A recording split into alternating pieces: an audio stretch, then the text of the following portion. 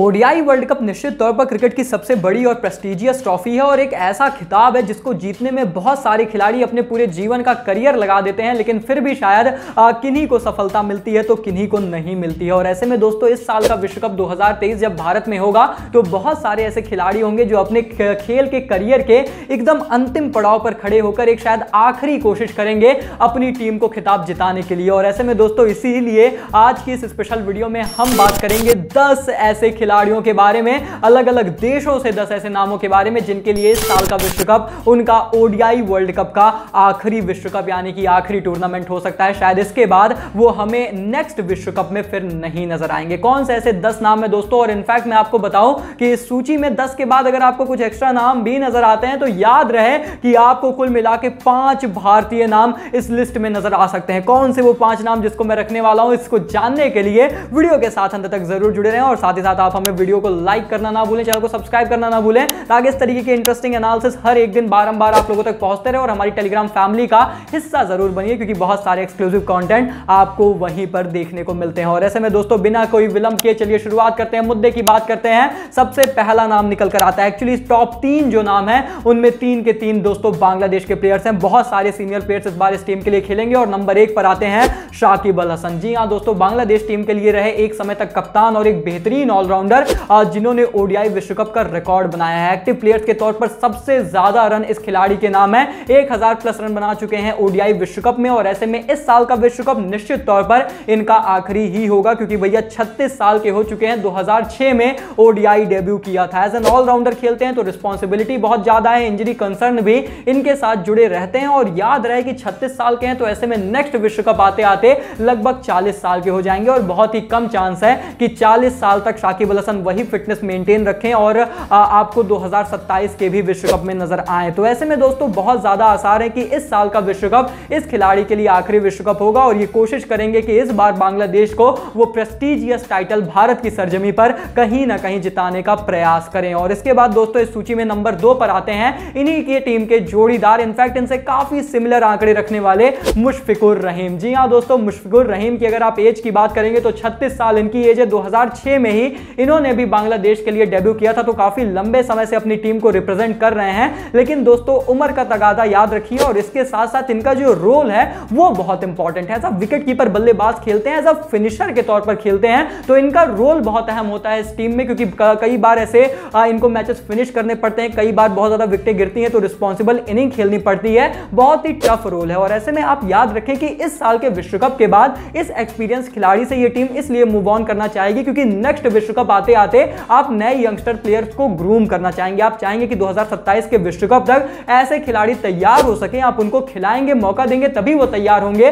2027 विश्व कप के लिए। और ऐसे में बहुत ज़्यादा चांसेस हैं कि इस साल का विश्व कप, इस खिलाड़ी का आखिरी ओडीआई विश्व कप हो सकता है। इसके बाद दोस्तों नंबर तीन पर आते हैं इन्हीं के टीम के एक और भैया खिलाड़ी। मैं बात कर रहा हूँ मोहम्मद महमदुल्ला की। महमदुल्ला सुबहान अल्लाह आपने कई बार सुना होगा, लेकिन बात यह है दोस्तों कि सैंतीस साल के हो चुके हैं। जी हाँ लास्ट बार इंग्लैंड के खिलाफ इनको ओडीआई सीरीज़ में मौका मिला और उसके बाद इन्होंने जो है, हाल फ़िलहाल में अफ़गानिस्तान के खिलाफ जो श्रृंखला बांग्लादेश खेल रही थी, उसमें इन्हें टीम में भी नहीं पिक किया गया। हालाँकि बोला गया कि ऐसा नहीं है कि हम इन्हें ड्रॉप कर रहे हैं, हम हम इन्हें आगे आने वाले प्लान में रखेंगे, लेकिन हाल फ़िलहाल में दोस्तों, जो ओडीआई परफॉर्मेंस रही है इस खिलाड़ी की, वो उतनी अच्छी रही भी नहीं अब अगर ऐसे में ये एशिया कप विश्व कप में पिक होते हैं तो भी अच्छी अच्छी चीज़ है अगर नहीं भी पिक होते हैं तो भी मुझे लगता है दोस्तों कि इसके बाद तो निश्चित तौर पर ये कंटिन्यू नहीं करेंगे ओडीआई क्रिकेट में। कंसीडरिंग कि भैया इसके बाद का जो विश्व कप है वो लगभग 2027 में होगा और तब तक इनकी एज लगभग इकतालीस बयालीस होगी, जहाँ तक इनके लिए फिट रहना और खेल पाना एज एन ऑलराउंडर और वो भी लोअर डाउन दी ऑर्डर बल्लेबाज के तौर पर बहुत ही ज़्यादा मुश्किल होगा।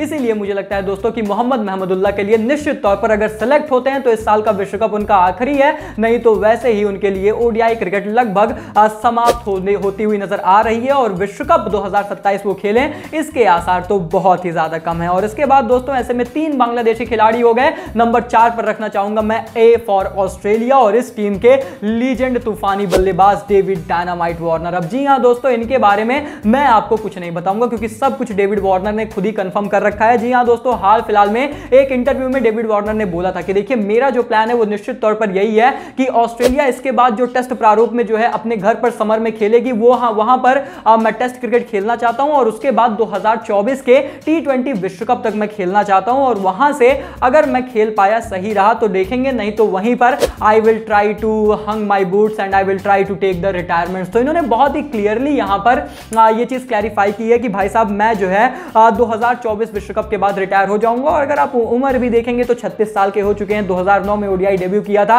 एज अ बैटर काफ़ी लंबे समय तक टीम के साथ जुड़े रहे और 2023 विश्व कप में एक आखिरी अटेम्प्ट ये करेंगे ऑस्ट्रेलिया को एक और ओडीआई विश्व कप ट्रॉफी जिताने का, क्योंकि अब इसके बाद ये टीम भी बहुत सारे लोगों को मौका दे रही है। आप देख रहे होंगे कि मार्च यहाँ पे ओपन करते हैं। यहाँ पे ट्रेविस हेड को मौका मिल रहा है और टीम आगे आने वाले युवा खिलाड़ी जॉश इंग्लिश बहुत सारे नाम है जिनको ग्रूम करेगी। तो ऐसे में देयर आर हाई चांसेस दोस्तों कि इस साल के विश्व कप के बाद 2027 में आपको डेविड डायनामाइट वार्नर तो निश्चित तौर पर नहीं नज़र आएँगे खेलते हुए। और इसके बाद दोस्तों की हम नंबर पाँच की तरफ़ चले, मैं आपको लेकर चलूँगा ऑस्ट्रेलिया के जस्ट थोड़ा सा बगल, यानी कि न्यूजीलैंड की तरफ़। और न्यूजीलैंड में जो नाम निकलकर सामने आता है, वो आता है ट्रेंट बोल्ट का। ट्रेंट बोल्ट के साथ एक क्यूरियस केस है। एज इनके लिए कोई बड़ा फैक्टर नहीं है और ये काफ़ी फिट भी रहते हैं। उतने इंजरी प्रोन है भी नहीं। तो आप कहेंगे तो भैया ट्रेंट बोल्ट को तो खेलना चाहिए, काफ़ी कंसिस्टेंटली खेलते हैं और गजब की लैमे भी रहते हैं। लेकिन दोस्तों ट्रेंट बोल्ट के साथ दिक्कत पता है क्या है? दिक्कत ये है कि इन्होंने अपने आप को सेंट्रल कॉन्ट्रैक्ट से बाहर कर लिया है न्यूजीलैंड क्रिकेट के और क्योंकि 2023 विश्व कप में भले इनको स्क्वाड का हिस्सा बनाया जाए, लेकिन उसके बाद जब टीम फ्यूचर की तरफ़ आगे बढ़ेगी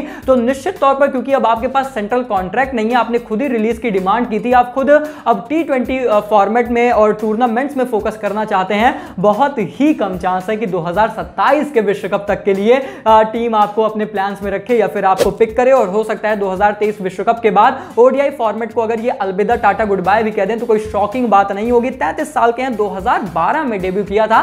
काफ़ी लंबे मतलब काफ़ी बाद डेब्यू किया, लेकिन बात वही है कि उम्र का भी उतना कोई तकाजा नहीं है। खेल सकते हैं, सैंतीस अड़तीस में तो इंसान खेलता ही है।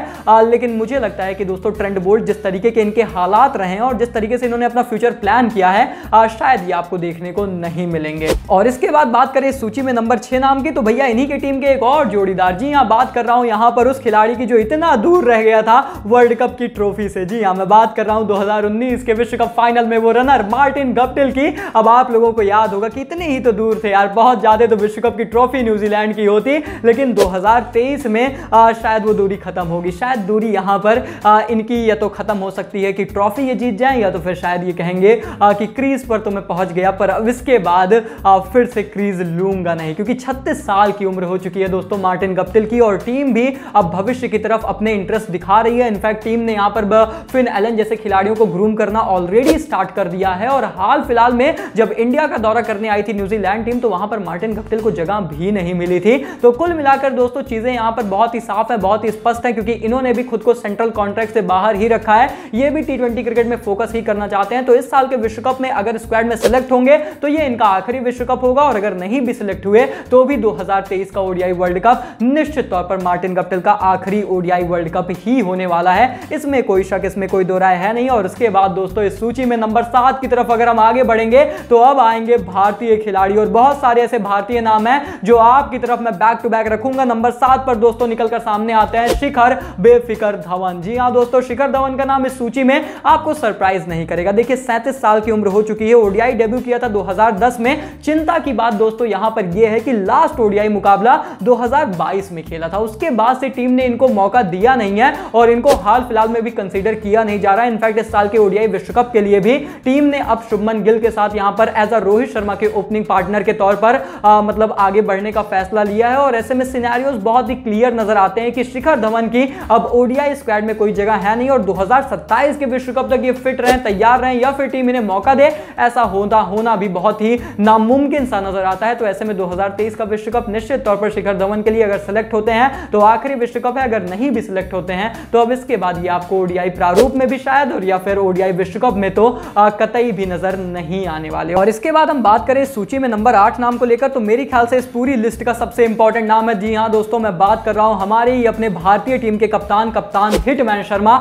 यानी कि रोहित शर्मा की। जी हाँ दोस्तों 36 साल की उम्र रोहित की हो चुकी है। और ऐसे में इस सूची में मैंने अभी विराट कोहली का नाम नहीं लिया, रोहित का नाम लिया तो काफ़ी लोग यहाँ पर सोचेंगे कि आखिर ऐसा क्यों है। दोस्तों, उसके पीछे का मैं आपको लॉजिक समझाता हूँ। रोहित शर्मा का नाम इसलिए है क्योंकि दोस्तों, हाल फ़िलहाल में पहली बात तो इनकी फॉर्म को लेकर भी थोड़े से संशय और शक बरकरार रहते हैं। और दूसरी बात सबसे इंपॉर्टेंट है इनकी फिटनेस क्योंकि ये उतने फिट नहीं है जितने विराट कोहली हैं और जिस तरीके की एक बार फिर से वो कहीं ना कहीं ओडीआई और टी प्रारूप में एक लय अपनी पकड़ रहे हैं, जो कि शायद अभी अभी भी रोहित शर्मा से नहीं देखने को मिल रही है। हालाँकि 2019 के सुपरस्टार ज़रूर रहते ओडीआई विश्व कप के। अगर 2023 में वैसा कुछ ये रिपीट करते हैं और अगर इनकी बॉडी गवाह देती है तो निश्चित तौर पर ये आगे कंटिन्यू कर सकते हैं। लेकिन दोस्तों, जो अभी बीसीसीआई के प्लान्स हैं, उनमें तो यही बताया जा रहा है कि 2023 के ओडीआई वर्ल्ड कप के बाद हार्दिक पांड्या आपके फ्यूचर कप्तान के तौर पर ग्रूम किए जाएँगे और ऐसे में रोहित शर्मा के लिए एज अ कैप्टन भी और शायद एज अ प्लेयर भी इस साल का विश्व कप उनका आखिरी विश्व कप ही होगा, क्योंकि 2027 तक यानी कि लगभग लगभग तब तक तकरीबन 40 साल की उम्र और क्या उतने अपने आप को ये फिट रख पाएँगे, खेल पाएँगे,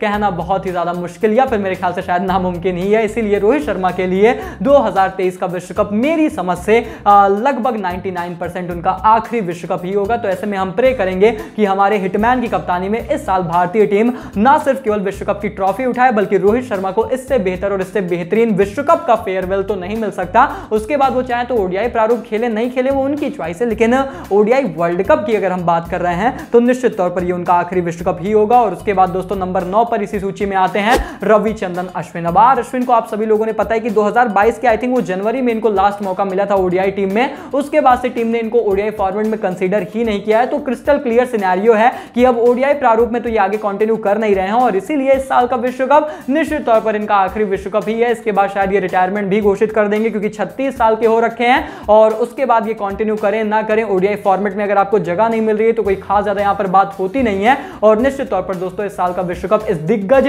टेस्ट ऑलराउंडर के लिए आखिरी ओडीआई विश्व कप होने वाला है। और इसके बाद दोस्तों, हम बात करें सूची में last but not the least name तो दोस्तों, वो निकलकर सामने आता है मोहम्मद नाबी का। और इसके पहले कि आप वीडियो को छोड़ के जाना चाहें, एक बार रुक जाइएगा, क्योंकि अभी कुछ और इंपॉर्टेंट नाम इसी वीडियो में हाईलाइट करूँगा। लेकिन जो है दोस्तों, मोहम्मद नाबी पर अगर मैं बात करूँ तो आपको पता है कि भैया अफ़गानिस्तान के ऑलरेडी एक लीजेंड खिलाड़ी के तौर पर खेल चुके हैं, और इनकी उम्र ऑलरेडी अड़तीस साल हो चुकी है। यानी कि नेक्स्ट विश्व कप तक लगभग बयालीस तिरालीस रहेगी तो कोई चांस ही नहीं है कि नेक्स्ट विश्व कप तक कंटिन्यू करें। निश्चित तौर पर मोहम्मद नाबी साल के विश्व कप के बाद आपको रिटायरमेंट लेते नज़र आने वाले हैं और इस साल का ओडीआई वर्ल्ड कप उनके लिए आखिरी विश्व कप ही होगा, जहाँ पर उन्होंने 2009 में डेब्यू किया था। एज एन ऑलराउंडर खेलते हैं, काफ़ी कंसिस्टेंट रहे हैं और इनफैक्ट अपनी फिटनेस पर भी वर्क किया है कि इतनी एज में इतनी अच्छी क्रिकेट खेल रहे हैं, लेकिन अब नहीं लगता कि इसके बाद आगे कंटिन्यू करेंगे और ऐसे में इस साल का विश्व कप निश्चित तौर पर इनके लिए आखिरी विश्व कप होने वाला है। तो ऐसे में दोस्तों, ये रहे वो दस नाम जिनके लिए इस साल का ओडीआई वर्ल्ड कप उनके लिए इस बड़े टूर्नामेंट का आखिरी विश्व कप हो सकता है, लेकिन दोस्तों, सिर्फ़ दस नाम इस सूची में है ही नहीं, बल्कि मैं कुछ और नाम ऐड करना चाहता हूँ और इसीलिए मैंने आपको बताया था कि भारतीय सिर्फ़ दो तीन नाम नहीं है, बल्कि पाँच नाम आपको इस सूची में नज़र आएँगे। अब बचे हुए जो नाम है दोस्तों, मैं आपको बताऊँ, उनमें से एक है श्रीलंका के एंजेलो मैथ्यूज जिनके लिए डेफिनेटली चीज़ें सर्टेन है। उन्होंने ऑलरेडी भैया रिटायरमेंट लगभग की, कर ही ली थी, फिर वो वापस आए, एक बार खेला, फिर फॉर्म में नहीं आए, फिर टीम ने अब उन्हें ड्रॉप कर दिया और ऐसे में साल का विश्व कप उनके लिए आखिरी ही है। उनकी एज बहुत ज़्यादा हो चुकी है। मोइन अली यहाँ पर अभी हाल फ़िलहाल में तो टेस्ट रिटायरमेंट ले ली थी, फिर एशेस खेले और ऐसे में ओडीआई विश्व कप 2023 के लिए उन्होंने खुद हिंट दे रखी है कि इसके बाद मैं देखूँगा अगर टीम चैंपियन बनती है, नहीं बनती है, जो भी है, वो उसके बाद वो शायद ओडीआई प्रारूप में भी कंटिन्यू नहीं करने वाले हैं। Same applies for the Faf du Plessis क्योंकि आप सभी लोग जानते हैं कि फाफ के साथ तो क्या ही हो रहा है, लेकिन उन्होंने रिटायरमेंट अनाउंस नहीं की है, लेकिन इस साल के विश्व कप के बाद वो निश्चित तौर पर कर भी सकते हैं, और उसके बाद दोस्तों same applies for Tim Southee क्योंकि इनके साथ फिटनेस कंसर्न और क्या टीम अब भविष्य की तरफ़ मूव ऑन करना चाहती है, नहीं करना चाहती है, वो एक सवाल रहेगा, और इसी सूची में दो और भारतीय नाम जो मैं ऐड कर सकता हूँ। वो हो सकते हैं possible candidates are Ravindra Jadeja and यहाँ पर विराट दरन मशीन कोहली क्योंकि दोनों की एज आप सभी लोग जानते हैं, लगभग वही पैंतीस, छत्तीस है और ऐसे में डिपेंड इसी बात पर करता है कि भैया क्या वो आगे कंटिन्यू करना चाहते हैं, उनकी फिटनेस कैसी है और कितना ज़्यादा वो खुद को एक्सटेंड करेंगे। क्या 2027 के विश्व कप तक वो खेल सकते हैं? ये एक सबसे बड़ा सवाल रहेगा। निश्चित तौर पर आगे आने वाले दो तीन साल तो क्रिकेट खेली ही जा सकती है और अलग अलग प्रारूपों में ये खेलेंगे भी। पर क्या ओडीआई वर्ल्ड कप में कंटिन्यू करेंगे? मुझे लगता है 2023 के ओडीआई वर्ल्ड कप का परिणाम भारत का इस पर बड़ा प्रकाश डालेगा। तो ऐसे में दोस्तों, आपको क्या लगता है कि क्या विराट या फिर रोहित दोनों ही रिटायरमेंट ले लेंगे इस साल के विश्व कप के बाद? या फिर आपको लगता है कि विराट अभी आगे कंटिन्यू कर सकते हैं? रोहित का ये लास्ट वर्ल्ड कप है या नहीं? या वो भी 2027 के वर्ल्ड कप में नज़र आएँगे? बड़े सारे सवालों के साथ आपको छोड़कर जा रहा हूँ, जो आप मुझे कॉमेंट में लिख बताएँगे। वीडियो पसंद आई तो लाइक करिए चैनल को सब्सक्राइब करिए। Do not forget to download the cricket exchange fantasy आपको लिंक डिस्क्रिप्शन और कमेंट बॉक्स में मिलेगा और साथ ही साथ वीडियो को लाइक करके चैनल सब्सक्राइब करें, ताकि इस तरीके की इंटरेस्टिंग जानदार शानदार वीडियोस आपको लगातार मिलती रहे। मिलते हैं नेक्स्ट वीडियो में, तब तक के लिए take care good bye thank you so much